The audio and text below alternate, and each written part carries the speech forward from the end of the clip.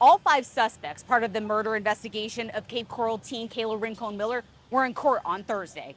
I'm Fox 4 senior reporter Caitlin Knapp. There are two cases in this that we've been following the murder investigation and allegations of witness tampering. Let's catch you up. Thomas Stein and Christopher Horne Jr. are accused of robbing three teens on March 17th and killing Rincon Miller. Shanice Stewart, Horne Jr.'s mom, Veraka Stewart, his aunt, and Christopher Horne Sr., his dad, are accused of witness tampering.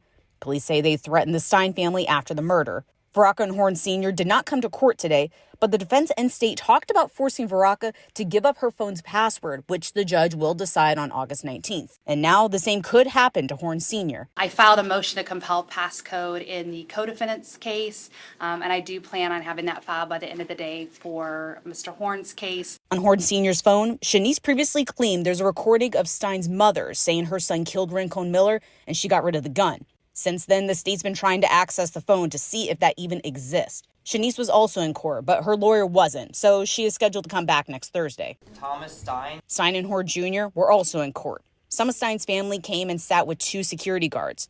In court, the state said there's still a lot to go through. There are uh, there were probably 25 or more search warrants done in this case, so we're slowly getting back some of those records. When Horne Jr. walked in, he waved to family members in court. As he walked out, his family said, Love you, Bubba. Okay.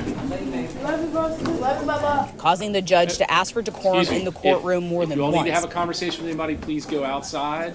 Uh, we're trying to conduct court here. They're going to be back in court in October. Reporting at the Lee County Courthouse, Caitlin Knapp, Fox 4.